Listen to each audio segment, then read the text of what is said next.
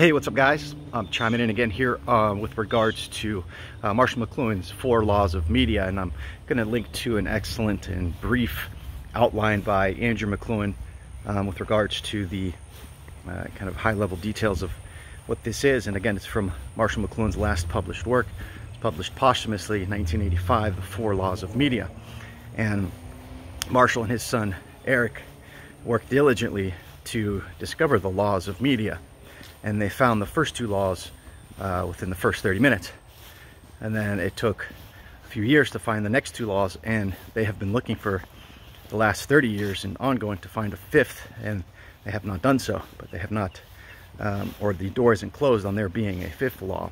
But uh, been thinking about these four laws and how they operate and work with each other, and it's a great practical tool you can use once you kind of get a initial understanding of them to observe and to um, situate yourself and, and observe any media.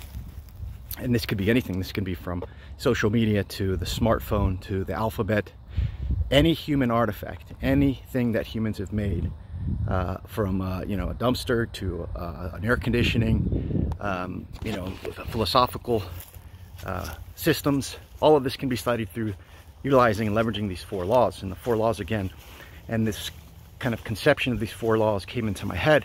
The way that you kind of picture them is you have these four quadrants. And these four laws are not necessarily chronological. Um, they all kind of happen at once and you can use one law when it becomes obvious to you to kind of ascertain what's happening with the uh, with the rest with the other three and one thing that I'm thinking about is what happens if we put uh, an icon of Christ or icons in general at the center of this this project and study them using these four laws. Um, so I'm going to be talking more about that, but this idea, this organic kind of idea came into my head. I've been thinking about how these four laws operate and work with each other. So again, the four laws are, um, uh, what does a media, so that's the question you're asking, uh, what does it retrieve? What does it enhance or amplify? What does it reverse and what does it obsolesce? So if you think and you start on the bottom left-hand corner, what does it retrieve from the past? What is old that is made new? What does it enhance? What does it reverse when pushed um, pushed to, to its furthest? And then what does it obsolesce, right? So thinking about like a flower growing, right? So what does it retrieve? What does it amplify? What does it reverse? And what does it obsolesce, right? It's kind of like the cycle of life the life cycle. It's all kind of like these, the four seasons.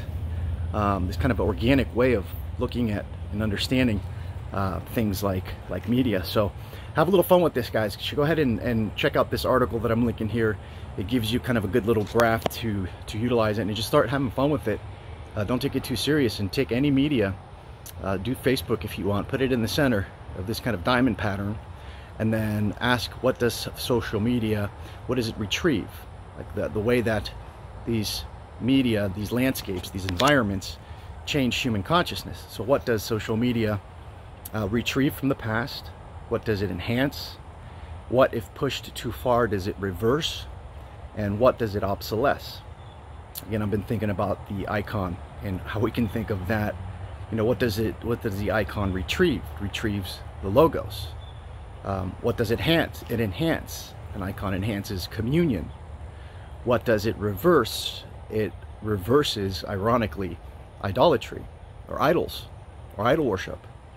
And what does it um, obsolesce?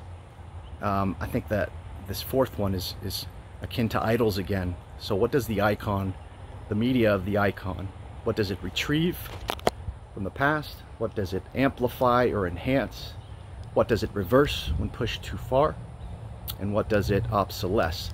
Uh, doesn't mean essentially go away. It means just, um, you know, not made, you know, put, put down a few levels on the hierarchy in terms of impact, um, right? So there's this, uh, kind of keep this idea in mind when, when working through it. And I'd love to hear some thoughts and some ideas of what we can study, what we can put in the middle of these four laws and, and observe and, and observe. And um, another more thoughts, kind of words that came to mind in, in terms of what Marshall was doing uh, when he studied media landscapes or media environments. Um, remember, the media environment becomes invisible in a sense. And he talked about being like a safe cracker, right? So you're listening and you're probing, trying to hear the different clicks and sounds while you're working to crack a safe until you kind of crack it open. Um, another kind of synonym for this idea is this to palpate. Uh, if you go to an acupuncturist, in order for them to find the meridian points, they will palpate the skin, or a doctor, um, when he is checking kind of the stomach, will pal palpate. So just push a little bit and feel.